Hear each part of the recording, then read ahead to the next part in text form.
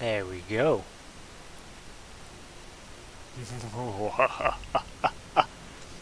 Apparently it's just flipped around for some reason.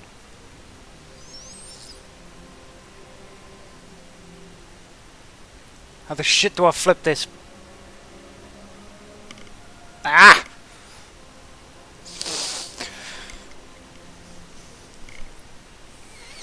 Fuck you, technology!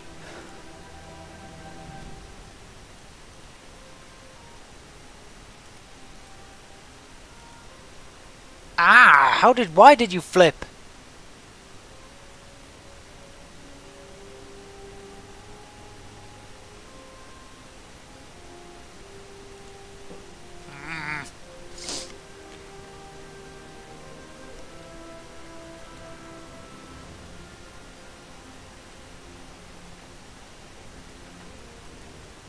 Ah, there we go.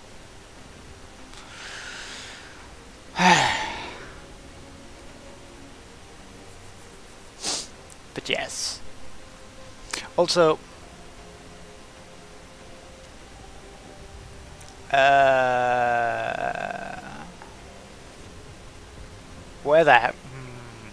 And this is why I fucking hate this thing. I really, really fucking hate this. This is gonna be shit. Fucking technology can suck my dick.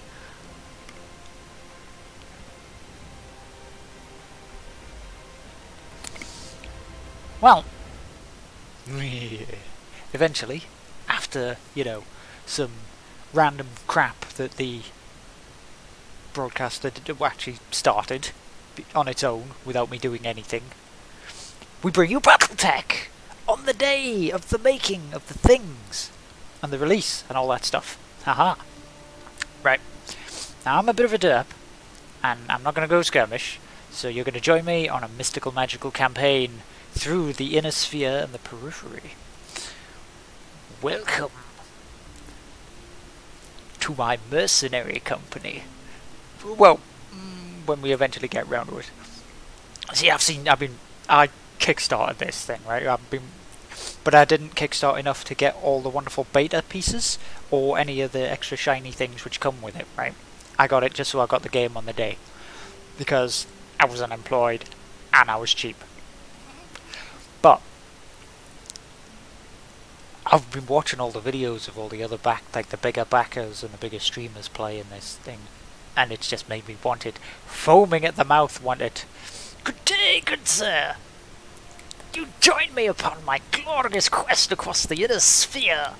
Well, I say across the inner sphere, but I was, I was saying I've seen a few, a lot of videos from this, and the map is huge, but it's not the whole inner sphere. It's sort of somewhere on the edge.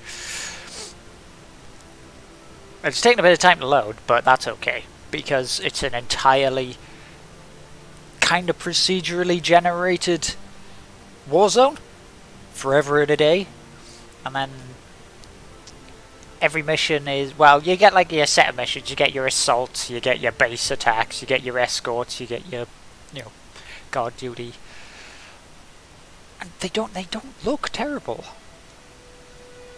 But, we're here for story. I am Kamea of House Arano, High Lady of the Aurigan Reach, Protector of Coromodir, and the Sword of Restoration. I am not a hero, no matter what the stories say. A hero would have sacrificed more, compromised less. A hero would have done better. You know this, of course. You were there. My father used to tell me stories about the ancient times. About the Star League, a golden age of prosperity, upheld by the great mech warriors of old, guardians of the innocent, protectors of the peace. I always dreamed of following in their footsteps. I was too young to see the truth. After all, it wasn't heroism or a noble cause that won me the throne. It was hiring a mercenary, skilled enough, perhaps ruthless enough, to carry the day. Hiring you. I still don't know if you fought for honor or for the thrill of it, for belief in my cause, just to make money. But whether it was your noble heart or mercenary mind, your actions gave us hope. That makes you a hero in the eyes of history. Whether you believe it, that's up to you. Oh, I'll believe it. I'll, I'll be a motherfucking hero. That's what I'll be. Ah, let's do this. Right. Now, get to make the person, and the person is not going to be a representation of me. Okay, it's not going to be a furry badger face, right? Purely because, right, I have, I'm like kind of lazy. And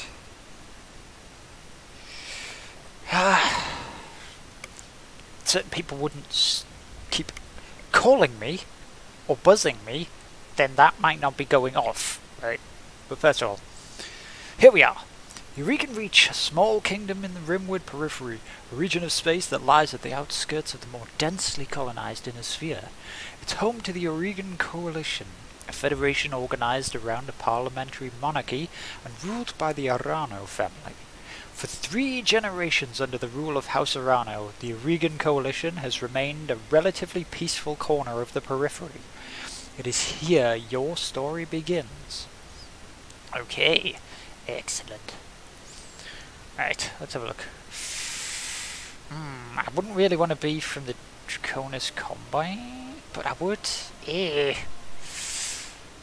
What do I. Right. Descendants of the conquered principality of Rasalhague. Blah blah blah. See, I'm tempted to be part of the. Um, well, not any of the like the major factions like Kurita, Marik, Davion, Steiner, Liao, but more one of these little periphery factions. Because right, you basically got pirates, Arr. Uh, the Rimward periphery, which is kind of just like a, a random sort of Star League without it being the Star League. So there's the, like they they carry on even though the Star League is kind of smited. And then you got a bunch of boss ass hardheads. Uh, technically, uh, there's a lot of stuff here. I mean, I, I use. I, I mean, I play MechWarrior Online a lot, right? And I use a lot of what would be classed as Kurita mechs. The only problem is, part of the lore behind Kurita is that they really, really hate mercenaries because they think they're dishonorable scumfucks, basically. Uh, so, rather not be one of those. Marik, uh, they are space Americans. Hoorah. All that freedom for freedom's sake. Also Purple Pigeon. Uh, Davion are basically space Brits, but the, the knightly kind of space Brits, which means they're all honor and nobility and, you know, family and kings and things like that, but they're also assholes. Then you have the Space Germans, which is Heisteiner, who are strength for strength. You know, we will rule by, you know, glorious power for the good of mankind, and all that kind of stuff. And then there's La Liao, or Lao, or Liu, or whatever it wants to be called, which is pretty much Space Asia. It, it kind of encompasses everything from like India, China, you know, Japan, that. Well, Korea is basically Space Japan, but Liao is sort of like the other sort of eh, big Asian, Middle Asian kind of feel about it. Like culture, that's what I should say. But for good thing's sake, I'm just going to pick the Magistracy of Canopus. Because I'm going to make my character a lady face. Right. Through Im- immigrants to the Aurigan Reach, your family soon established a comfortable presence in a small backwater system on the edge of the Aurigan space. By the time you were born, your family had become the de facto ruling nobility of the system's only inhabited planet. You were the oldest child, heir to the family titles and the ancestral battle mech, an old blackjack BJ1. Where, where, where? BJ. But enough of that. This is where you meet Raju Mastiff Montgomery, a veteran of the Succession Wars, whom your parents hired on for a season to train you as a mech warrior. Raju was a strict but capable teacher, and you quickly became a skilled pilot under his tutelage, and it was an uneventful life. Mm. You were exiled, promising young sign of your family until you committed unforgivable transgressions. So at which point you ran away with your shiny, shiny mech and gave them the middle finger. Struck out on your own. And I see I'm looking at these, the gunnery and tactics, you've got piloting and tactics, you struck out on your own. Heir of the noble family, grew up wanting more, couldn't stand a life of pampered nobility, and you legged it with your blackjack. Family went bankrupt. Grew older, you watched your family's fortunes slowly dwindle away, nothing left, and you left with your blackjack to find your fortune. Everything blew up and you died in the accident, and they died in an accident, but you were hard as, hard as nuts, carried on. And your family was betrayed. See, see, family was betrayed gives you the the gunnery and the guts, which is what I'm after. You know, all of these do different things. The guts make you sort of like tougher, harder, gives you abilities to resist a lot of things, gives you abilities to just, you know, weather the storm. Gunnery is obviously your ability to hit things. You, you know, you become more precise, you ignore people's defences, and you get things through. Piloting means that you can actually control your mech better, which means you run faster, you can evade more, you, you've got, you know, running, jumping, climbing trees kind of thing. Tactics is your control of the battlefield. It's more of a commander's role. It sort of allows you to pinpoint things and, you know, gain the best advantages of your situation. But what I'm to do is I'm to go for gunnery and guts because my playstyle revolves around me standing by being mensch and hitting things in the face. Okay, right. Now, I can be an Aurigan soldier. So you have your prospects, you travel to the Cor Coromodir, the capital of the Aurigan Coalition, and enlisted in the military, which will gain you one gunnery. You will be a pirate! Arr! Out in the Rimward periphery, kicking ass and stealing shit. I'll get you some guts. You could be a Solaris gladiator.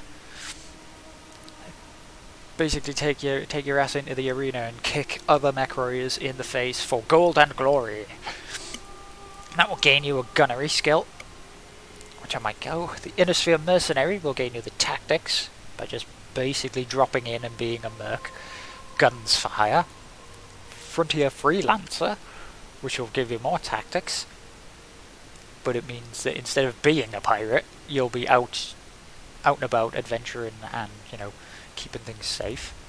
You're a merchant, which will give you more merchant guard. Uh, I actually think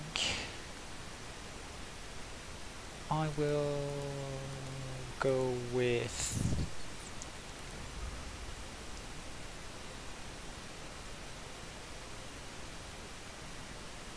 uh, I think I'll go with the Gladiator. Oh. Years later, you cross paths with Raju Mastiff Montgomery again. Low-level champion, down to your luck, and one bad fight away from the gutter. Until Raju heard about you, he trekked all the way to Solaris to offer you passage back to the Aurigan Reach, and a job in the House Arano. So he learned of you through all your, your fights and your glory, and until you like got rocked. I brought you back to the Aurigan Reach to serve as a boss ass guard, bringing you probably ruined and absolutely battered to crap um, thing, really. Right, let's have a look. Let's go from face to face to face to face.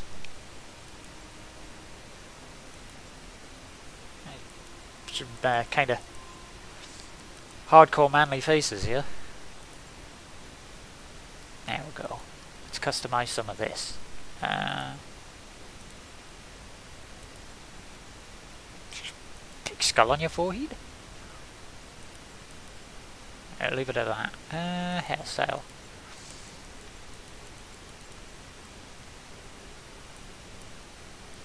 Let's see if I can get a like a bigger.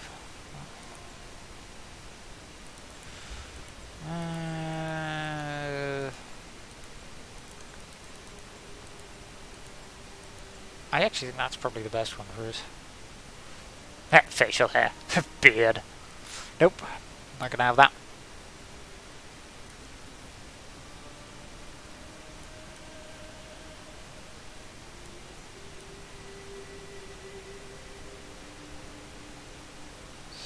Let's let's work with that.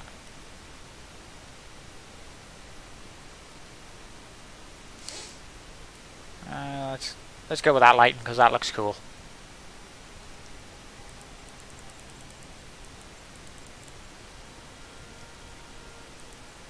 Bit of grey.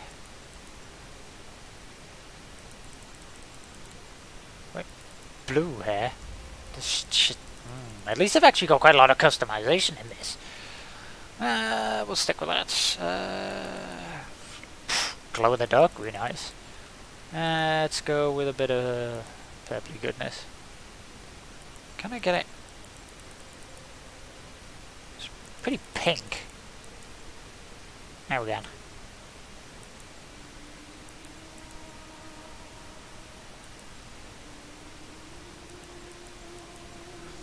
Let's do this. Right, customization. Haha! Let's do... Uh, whoops. There we go. Anastasia Rosenberg. There we. Awesome stuff. Right, now if you're wondering, the actual name all comes from, uh, I am not going for the bearded lady, damn it. The name actually comes from an old roleplay character which I had, which was kind of sort of stern and DJ Necromancer, but still. Um, hmm. But the stern, commanding woman. And please stop sending me messages.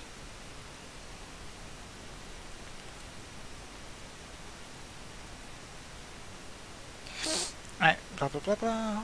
All of the glory. Okay, right, so this is my character. Spent in the Magistracy of Canopus, which is a matriarchy? Yes, if I read that correctly, it is a matriarchy. I, my family was betrayed, so I've got extra gunnery and guts.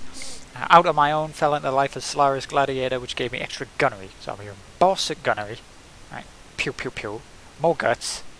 Mm, Not so much on the pilots and tactics. But, this is all good. Confirm. Let's do this. Get into some actual fighting. Actual ac combat of justice. And this been waiting for this game for so long. But story and things. Ah.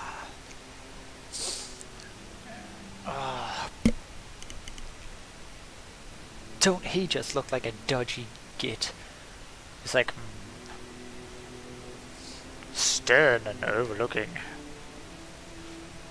He's given some sass.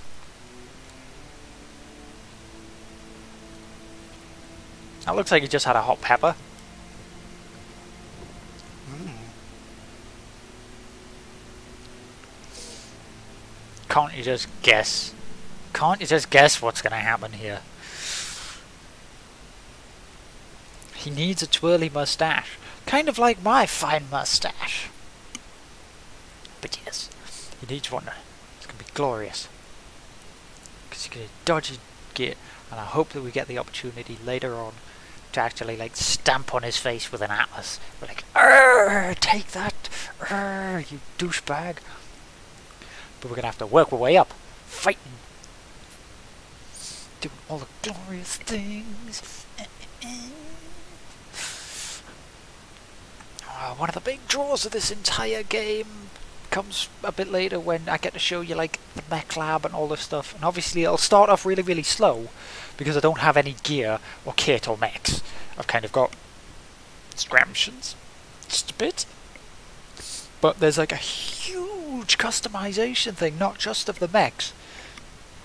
Pardon me. but you get like you start off with like a little drop ship, but you get a a bigger ship.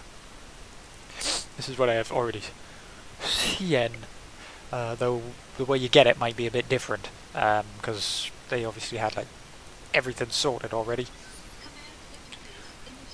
Training mode activate. Let's have a look.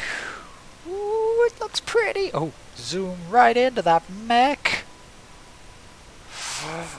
Oh, look at how tasty that is. I can like, practically see myself in the cockpit. okay, right. Espinosa refit yards, rush the repair on your blackjack. Looks like it's all in one piece, but we should run some diagnostics on it to be sure. Standard field tests, you know the drill. Okay, right. I am this close in, and those bushes look fucking amazing. Right. More importantly, though, I want to tell you about the job brought you out here to do. Do me a favour and get that battle mech moving. Let's see if there are any kinks in the actuators. Right. Rotate this. And then go like this. So I select my mech. move here. Ooh. Right. So you, you use the left click to actually select the location, though you right click to select the mech, which is a bit awkward. And once you've selected it, you get, obviously, your angle of where you're aiming and your firing arcs. So let's just get shifting to the point now. All good. Brought you here because there's something wrong with in the capital. It's been too quiet since High Lord Tam Tamati's funeral, and I'm worried about Lady Camille's safety during her coronation process. Anyway, looks like your actuator's checked out. Let's conduct the weapons test. Target one of those burnt out old urban mechs. Ah. oh. Poor little urban mech. Damn right. Okay, right, so let's have a look. S select one of these. Oh, no, wait, that just selects all of my stuff. So right click brings up this test dummy which allows you to see all the components on it, the back, the front. Uh, selecting on these ones actually tells you what they have in them, but current these ones are just empty little burnt out shells, so they don't have anything in them. Right, select all that stuff. Let's just alpha this thing into nothingness. Ha ha ha! Oop, uh. Not much left of that. Mm. Satisfying but it will probably be way, way more satisfying in a bigger, heavier, meteor mech. Good shot. Your guns are in working order at least. Done.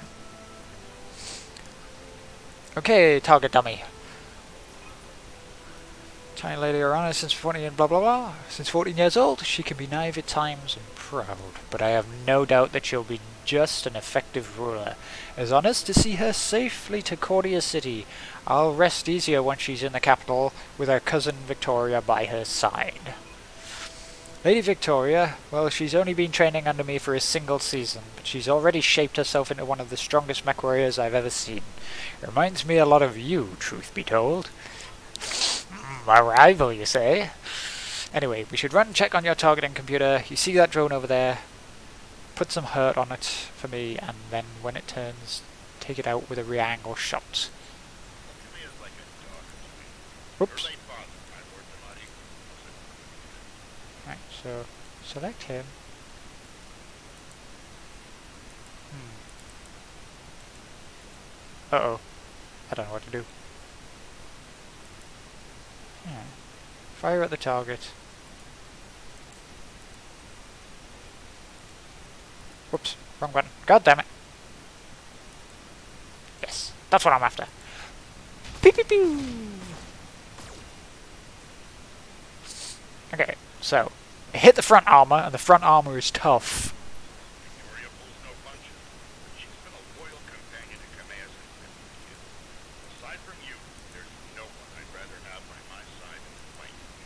Okay, now turned around. This shows you all the, the glorious things about positioning and actual armor quantities and that. Tactics, tactics. It will be glorious. Because mechs generally have a much heavier armament on the front and a much weaker armament on the back, and you've got to balance all this. So you might see a lot of people just properly front tanking everything and then trying not to let anything get behind them. That's a good tactic in its own right, but I don't tend to like. It is it is bloody impressive. It's got really really nice things. I'm still gonna have to get used to the targeting with like right and left mouse clicks, but time to test my jump jets. Let's have a look. Right, so select, haha, and then I can use jump jets. Jump jets are far more effective mobility wise because obviously they allow you up and over a lot of places. Ooh, overheated.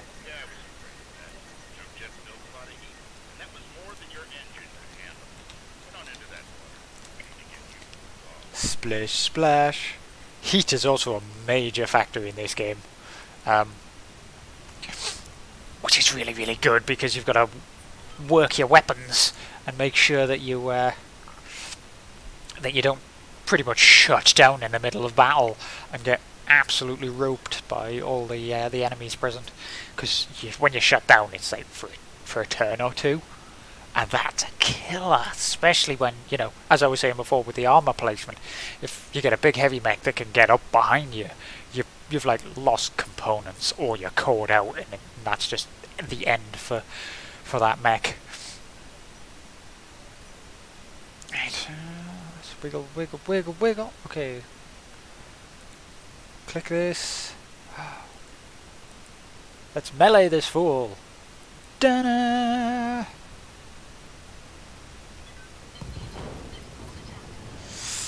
Yeah, with the original, it's it's a very different beast than MechWarrior Online because obviously, you know, the, you can take your time. You can I mean, in the skirmish, you've got like timed turns, obviously, so it keeps the game flowing. But in single player, you can just think. You've got time to think. Unlike a real-time strategy where you've got to sort of work with it, uh, like as it comes, and you've got to take the. You've got to take each event as it's appearing and, and deal with it this way. If you're sitting there and chilling, you can look at the whole battlefield, you can see where whatever enemies you've located are, and you can plan.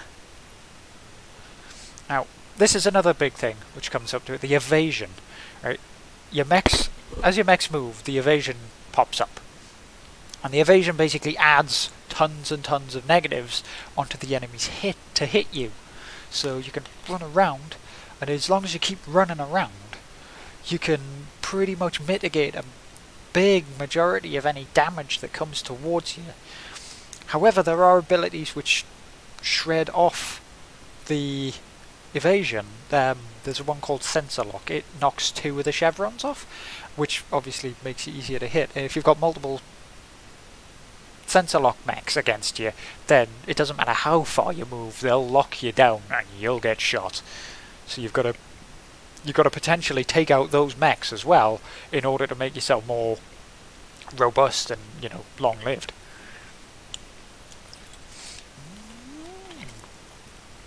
Let's try this. Congratulations, Rose, your blackjack's as combat ready as it can be. Given the circumstances for what it's worth, I hope that my suspicions turn out to be unfounded. Let's get on! Let's get on!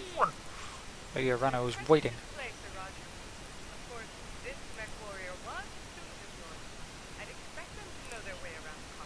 Get a bit of a sprint going. Mm, tasty, tasty, tasty mix. Now I'm going to instantly rip out all the... when I get the opportunity, I'm going to rip out all the components of this blackjack because, well, I just want it to be a bit more... Well, a bit less reliant on, gun, like, ammo, really. Right. Ba -ba -ba. Rose, allow me to introduce Camilla Arano, the soon-to-be High Lady of the Aurigan Coalition. Lady Victoria on this channel?